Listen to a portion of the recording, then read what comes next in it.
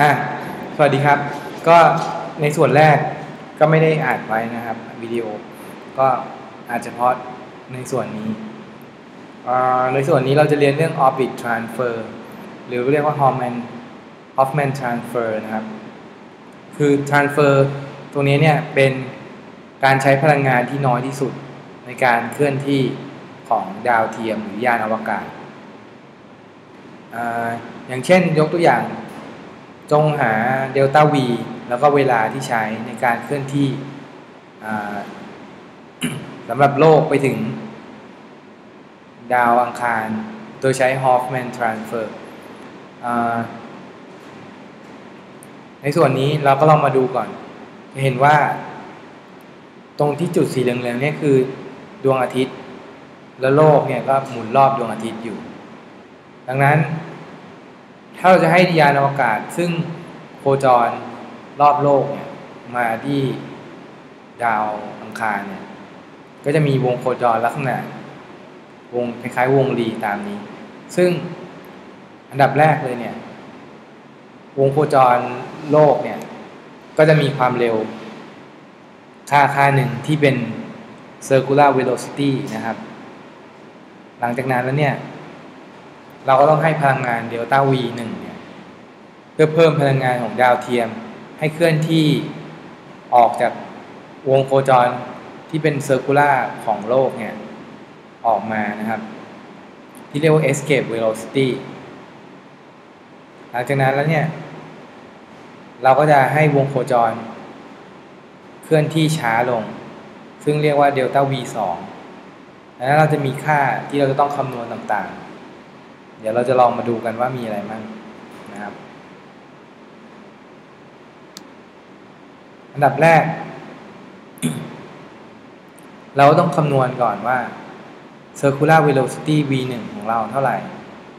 เราต้องรู้ว่าความเร็ว รอบโลกที่เราหมุนเนี่ย หมุนโดยใช้ circular velocity v 1เท่าไหร่ หลังจากนั้นแล้วเนี่ยเราก็ต้อง เพิ่ม delta v 1เข้าไป ซึ่งเราจะเราจะได้ v 2เท่ากับ v 1บวก delta v 1พื่อที่จะให้วงโคจรเนี้ยเป็นวงโคจรที่ส่งถ่ายตามเส้นสีแดงนี้ หลังจากนั้นแล้วเนี่ยเราจะต้องคำนวณ v 3ที่จุดที่จุดปลาย หรือว่าจุดที่มาถึงดาวองคารแล้วนะครับดังนั้นเราสามารถที่จะคำนวณโดยใช้ angular momentum velocity ได้จาก v 2คูณ r 2เท่ากับ v 3คูณ r 3ได้เลยนะครับดังนั้นเราสามารถที่หา v 3ได้จาก angular velocity เออ angular momentum ได้ หลังจากนั้นแล้วเนี่ย เราสามารถที่จะหา v 4 v 4 ก็คือ circular velocity ของ final orbit เพื่อให้ดาวเทียมเราเนี่ยโคจรรอบดาวอังคาร ดังนั้นเราสามารถที่จะหาเดลต้า v 2 ได้จาก v 3 เอ่อ v 4 ลบ v 3 นะครับสเต็ปก็จะมีตามที่ผมอธิบายมาเมื่อกี้นี้เดลต้า v ทั้งหมดก็จะเกิดจาก เดลต้า v 1บวกเดลต้า v 2ส่วน travel time เนี่ย เราก็ใช้เพียงแค่ครึ่งเดียว เพราะว่าที่เรามีสูตรเนี่ย เราคำนวณคาบทั้งหมดก็คือครบวงโคจร แต่เวลาเราส่งผ่านส่งผ่าน Hoffman transfer เนี่ย เราไปแค่ครึ่งเดียว งั้นเวลาที่ใช้ก็แค่ครึ่งเดียวนะครับเรามาดูสเต็ปแรก v 1 วงโคจรของเราเนี่ยเคลื่อนที่มีวงโคจรตามโลกตามดวงอาทิตย์ ดังนั้น เราต้องใช้มิวของซันส่วนด้วย r ของ e นะครับเท่ากับ 29.7 กิโลเมตรต่อวินาที หลังจากนั้นแล้วเนี่ย เราก็เอารัศมี ที่ผมบอกว่า r e เนี่ยหมายความว่า รัศมีจากดวงอาทิตย์มาถึงโลกนะไม่ใช่ว่ารัศมีของโลกเฉยๆถ้ารัศมีของโลกมันหกสามเจ็ดแปดกิโลเมตร แต่ว่ารัศมีของเอิร์ธเนี่ยเราต้องนับจากดวงอาทิตย์มาจนถึงโลกนะอันนี้จะได้ยี่สิบเก้าจุดเจ็ดกิโลเมตรต่อวินาที ส่วนค่าต่างๆเนี่ยเราสามารถที่จะเปิดตารางดู อย่างเช่น จากดวงอาทิตย์ถึงดาวอังคารเนี่ยเขาจะมีค่าของกี่กิโลก็ว่าไปนะดังนั้นเราสามารถที่จะคำนวณหา A คือ semi major axis ได้ก็คือเอา r ของ Earth บวกกับ r ของมา แล้วหาร 2 ก็จะได้เป็น semi major axis ส่วนในการหา elliptical orbit เนี่ย ก็ตามสูตร ในส่วนของ v2 เนี่ยที่เราคำนวณ เราก็จะได้คำนวณจากสูตร สูตรของ elliptic นะครับ ก็คือ square root ของ2มิลส่วน r ลบมิลส่วน a นะครับ ซึ่งอันนี้เป็นสูตรของ elliptic ธรรมดา อันนี้ก็ให้ไว้ เราต้องเข้าใจว่า r นี่ก็คือ earth เหมือนเดิมก็คือจากดวงอาทิตย์ถึงโลก แล้วก็ a เนี่ยก็ได้มาจากคำนวณเมื่อกี้ อันนี้จะได้ v 2คือ 32.6 กิโลเมตรต่อวินาที ดังนั้นเดลต้า v 1แล้วเนี่ยก็ v 2ลบ v 1เท่ากับ 2.9 กิโลเมตรต่อวินาที ส่วนสเต็ป3คือการหา angular momentum เราหา v 3จาก v 2 re r earth นะครับ เท่ากับ v 3 r มา ดังนั้นความเร็วเนี่ย จะเห็นว่าความเร็วที่มาดาวอังคารเนี่ย จะประมาณ 31.4 กิโลเมตรต่อวินาที ซึ่งเป็นไปตามที่กฎของโมเมนตัมนะครับ ดังนั้นเราสามารถที่จะหาคำนวณหาวงโคจร circular ของมาได้จากสูตร v เท่ากับมิวซันส่วนด้วย r ของมา จะเห็นว่า circular orbit ของมาเนี่ยจะเป็นสีน้ำเงินด้านนอกตรงนี้ จะอยู่ที่ 24.0 กิโลเมตรต่อวินาทีดังนั้นเดลต้า v 2เนี่ยก็คือ v 4ลบ v 3ซึ่งจะได้เท่ากับ 2.6 กิโลเมตรต่อวินาที total velocity เนี่ย total ของเดลต้า v เนี่ยก็คือ v เดลต้า v 1บวกเดลต้า v 2เท่ากับ 2.9 บวก 2.6 ก็จะประมาณ 5.5 กิโลเมตรต่อวินาที ส่วนคาบของการเคลื่อนที่เนี่ยก็คือตามสูตรส่วนด้วย 2 เพราะแค่ครึ่งเดียว ดังนั้นจะเห็นว่าเวลาที่ใช้เนี่ยประมาณ 0.71 ปีนะครับ มาตัวอย่างที่2ถ้า initial orbit RA เท่ากับ 6578 กิโลเมตร altitude เนี่ยอยู่ที่ 200 กิโลเมตรนะครับ จะต้องการที่จะไป geosynchronous คือ ไปอยู่ที่ geo orbit เนี่ย ที่ความสูงเนี่ย 42,164 กิโลเมตร แล้วเราหาความเร็วเดลต้า v ยังไง ก่อนอื่นก็สเต็ปแรก คราวนี้เราต้องใช้มิวของเอิร์ธเพราะเราใช้โลกเป็นจุดศูนย์กลาง ดังนั้นเราสามารถที่จะหามิวของเอิร์ธได้จากการเปิดตารางส่วนด้วย r ของ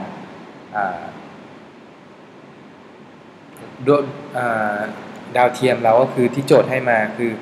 6378 บวกกับ 200 คือ 5 6578 นะครับ ซึ่งจะได้อยู่ที่ประมาณ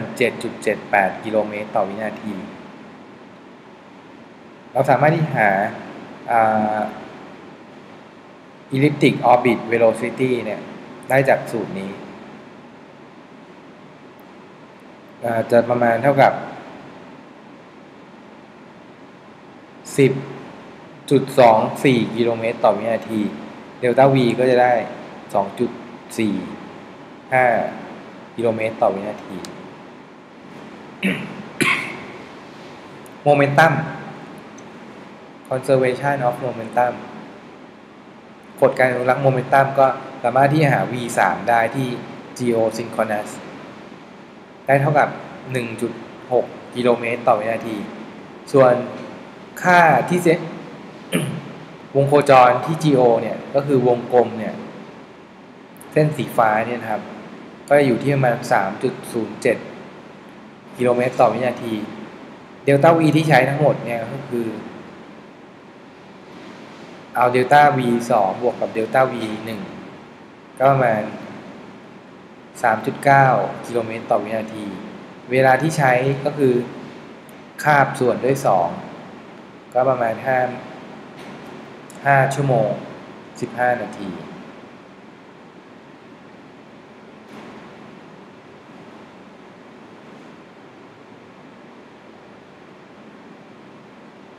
อันนี้เป็นในส่วนของ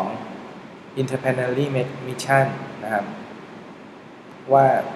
เราสามารถที่จะหาค่า v s v infinity ได้ยังไง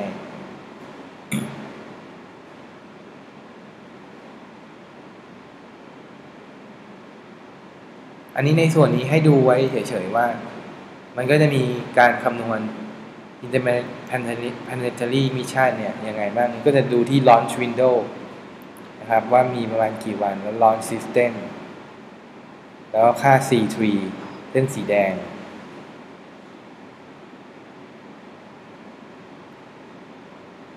อันนี้ก็เป็นในส่วนของวงโคจรระหว่างโลกแล้วก็ดาวศุกร์ว่าใช้เวลากี่วันที่เข้าใกล้มากสุด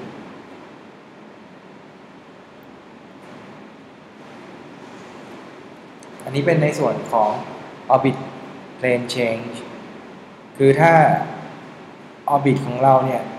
เกิดการเปลี่ยนแปลงมุมด้วยดังนั้น เราต้องมีการคำนวณในส่วนของเดลต้า v ที่เกิดจากการเปลี่ยนแปลงมุมแล้ว ยกตัวอย่างเช่น ถ้าวงโคจรเส้นสีเขียวเนี่ยคืออ ตอนแรกที่ดวงที่ดวงดาวเทียมเราเคลื่อนที่ แต่ถ้าเราต้องการที่จะเปลี่ยนมุม คือให้จากสีเขียวไปสีแดงเนี่ยคือทำมุมเดลต้าไอเนี่ยถามว่าเดลต้าวีที่ต้องใช้เนี่ยเท่าไหร่ก็จะมีวิธีการคำนวณ อย่างเช่นในส่วนตัวอย่างนี้ ถ้ามุมเดลไอเนี่ยเท่ากับ 28.5 แล้วเราจะเปลี่ยนมาที่ i เท่ากับ 0 โดยที่มีความสูงเนี่ย 296 กิโลเมตรนะครับ ดังนั้นสิ่งที่เราต้องคำนวณก็คือว่า สูตรนี้คือสูตรในการหา inclination change ก็คือในส่วนของการเปลี่ยนแปลงมุมดังนั้นเดลต้า v เนี่ยเท่ากับ 2 v 1 sin เดลต้า v ส่วน 2 อันนี้คือเดลต้า v ที่ใช้ในการเปลี่ยนแปลงมุม จากเส้นสีเขียวขึ้นมาเป็นเส้นสีแดงตรงนี้ จะเห็นว่าจากเดิมที่เราใช้ 28 องศาเนี่ย จะต้องเปลี่ยนมาเป็น 3.8 จาก 28 เหลือศูนย์28.5 เหลือศูนย์องศาต้องใช้เดลต้า v เท่ากับ 3.8 กิโลเมตรต่อวินาทีนะครับ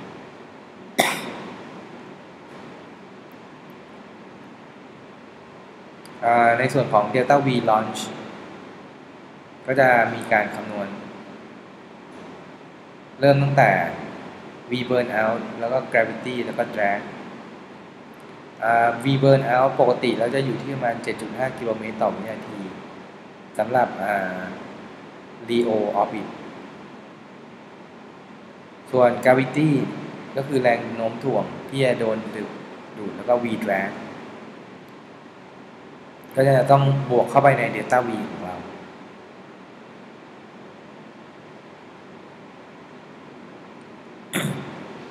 ตอนนี้เราลองมาดูเรื่อง launch side นะครับ launch side ของเราเนี่ยจริงๆแล้วโลกเนี่ย มันจะมีการหมุนอยู่ที่ประมาณ0.646 คูณ cos อัลฟากิโลเมตรต่อวินาที นั่นหมายความว่า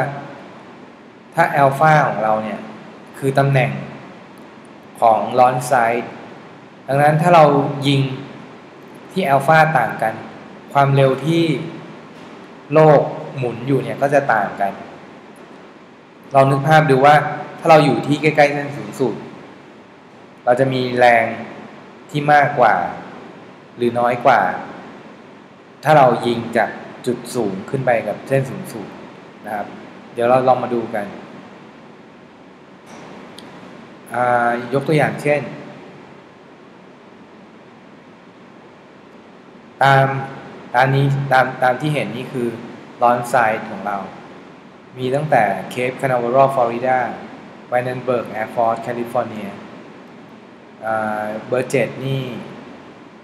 Tanegashima Island ของญี่ปุ่น แล้วก็เบอร์เก้าของ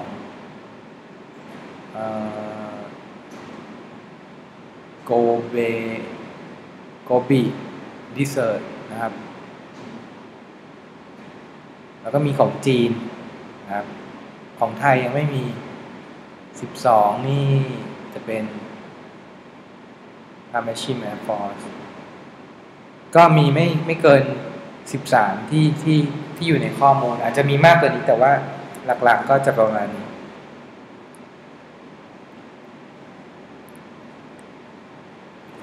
อันนี้จะเห็นมุมนะครับ มุมที่ที่ผมบอกเมื่อกี้นี่0.46 คูณ cos alpha ดังนั้นถ้าเราเอา alpha ต่างๆกันเนี่ย นั่นก็หมายความว่าความเร็วที่ initial ของเราเนี่ย ก็จะต่างกันไปด้วย ดังนั้นข้อกำหนดเนี่ย เวลายิงแล้วเนี่ยก็ต้องออกไปทางทะเล อย่าง Vandenberg Air Force เขาก็มีข้อกำหนดให้มุมยิงเนี่ยมาทางนี้ หรือฟลอริดาก็คือยิงไปด้านนี้นะครับดังนั้นแต่ละร้อนไซส์เนี่ยมุมที่มันเหมาะสมในการยิงก็จะแตกต่างกันไปด้วย ขึ้นอยู่กับภูมิประเทศ บางครั้งบางแห่งเนี่ยต้องยิงสวนส่วนทางกับการเคลื่อนที่ของโลกนะครับ ซึ่งก็ทำต้องนำให้สูญเสียค่าของเดลต้าวีไป เพราะเราต้องชดเชยในการปรับเปิดมุม แล้วก็ตำแหน่งหลังจากที่ยิงขึ้นไปแล้ว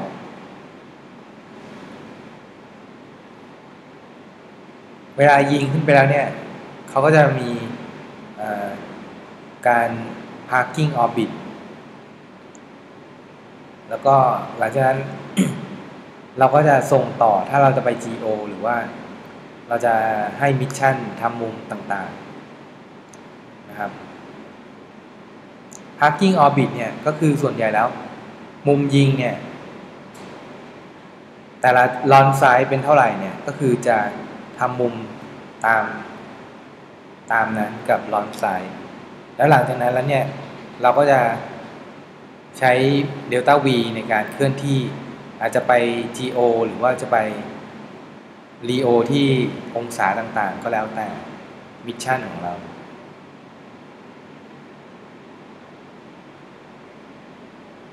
อันนี้เป็นในส่วนของ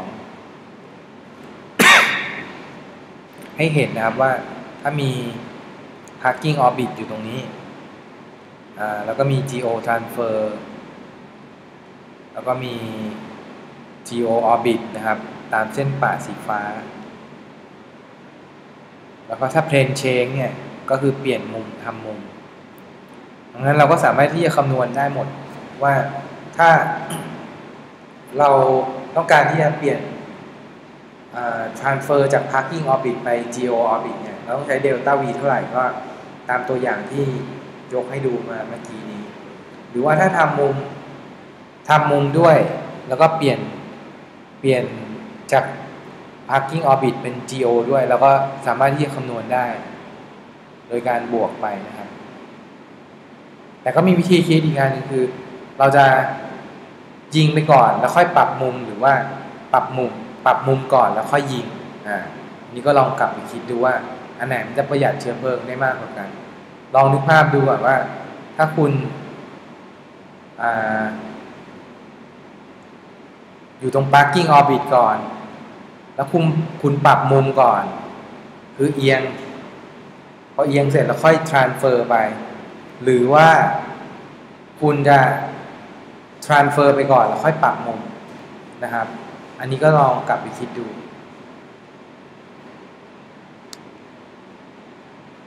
อันนี้เป็นตัวอย่าง parking orbit ที่ 200 กิโลเมตร เราก็สามารถที่จะหา RP ได้ inclination 28.7 velocity ก็คำนวณได้ตามสูตรนะครับ GO ของ orbit เนี่ย เท่ากับ circular เท่ากับเท่านี้นะครับ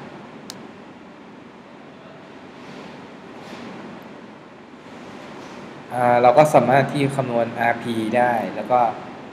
GO ได้ ค่า A ก็คือ R RP บวก RG อ่า RP บวก RA ส่วน 2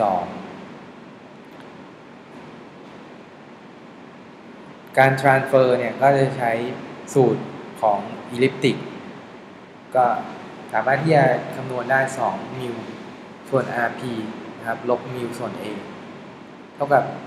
10.2 กิโลเมตรต่อชั่วโมง เอ้ย ต่อวินาที แล้วก็สามารถที่คำนวณหา velocity โดยใช้ momentum velocity ไอ้ momentum angular momentum ได้นั้นเราก็จะได้สูตรนะครับ ในการในความเร็ว แล้วก็เวลาที่ใช้ก็หารสอง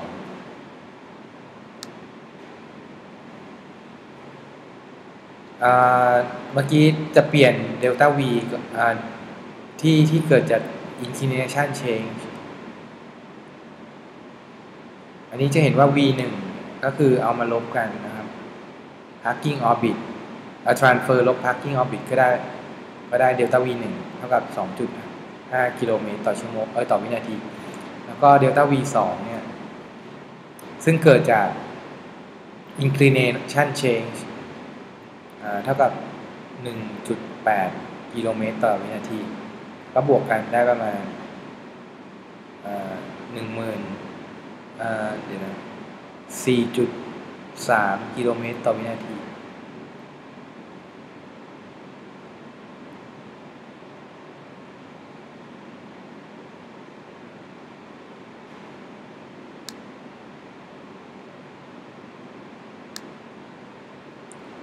ในส่วนของลองมาดูตรงนี้ คือถ้าเรามี ตอนแรกเรามี parking orbit คือ 30.7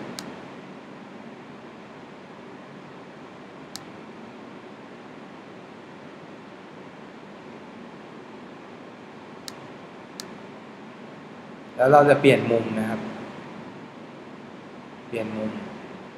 เราสามารถที่จะหาเดลต้า v 2เนี่ย ได้จากสูตรนี้ ก็คือที่เราแทนค่าไปเมื่อกี้นี้อันนี้ให้เห็นว่าเราเปลี่ยนมุมเนี่ย ก็คือเกิดจากการใช้สูตรของในเรื่องตีโกนธรรมดานะครับเราสามารถที่จะคำนวณได้ว่าเดลต้า v 2เนี่ย ก็เกิดจากอะไรเนี่ย บวกกัน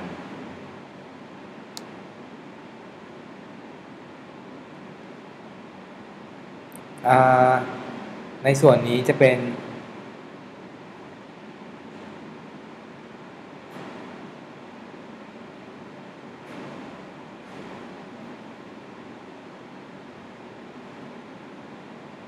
ความเร็วนะครับเดลต้า v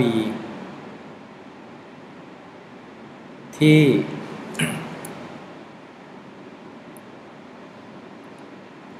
ที่ที่หมุนเนี่ย ดังนั้น ที่เราเราหาอยู่เนี่ยโลกหมุนประมาณ 29 กิโลเมตรต่อวินาทีเนี่ยดังนั้น ความเร็วที่เราต้องใช้ ในการที่จะออกไปจากวงโคจรตรงนี้จะอยู่ที่ประมาณ root สอง VE หรือประมาณ 42 กิโลเมตรต่อวินาที ดังนั้นเราต้องมีความเร็วอย่างน้อย 42 กิโลเมตรต่อวินาที เพื่อจะหนีออกจากวงโคจร ในส่วนนี้เนี่ย ก็มี mission ที่เรียกว่า Ulysses ซึ่งใช้ Earth Gravity Jupiter Gravity นะครับเท่าทีจะเห็นว่าตอนแรกเลยเนี่ย Earth คือเส้นสีเขียวเนี่ยหมุนรอบดวงอาทิตย์ หลังจากนั้นแล้วเนี่ยยานอวกาศเนี่ย ก็จะวิ่งออกไปที่ดวง ดาวพฤหัสหลังจากนั้นเราใช้แรงโน้มถ่วงของดาวพฤหัสแล้วเปลี่ยนวงโคจรนะครับ เปลี่ยนวงโคจรแล้วก็ ไปสำรวจดวงอาทิตย์ ดังนั้นจะทำให้ เห็น เห็นวงโคจรของดวงอาทิตย์เห็นเห็นขั้วโลกเหนือใต้ของดวงอาทิตย์นะครับ อันนี้เขาเรียกว่า gravity axis maneuver อันนี้ก็จะเป็นตัวอย่างให้เห็นว่ายิงมาแล้วเนี่ย ก็คือใช้ แรงแรงโน้มถ่วงในการเปลี่ยนวงโคจรด้วย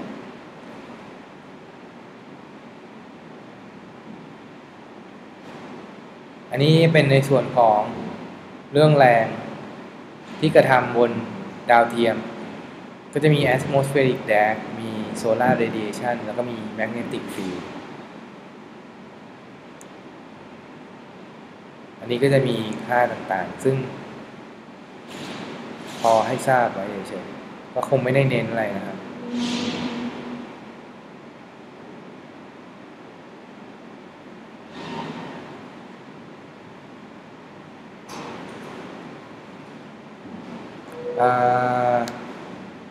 วันนี้เราก็คงจบอันที่สี่ไว้แค่นี้นะครับ แล้วเราก็คงมาต่อบทห้านะครับ ในสัปดาห์หน้าแล้วกัน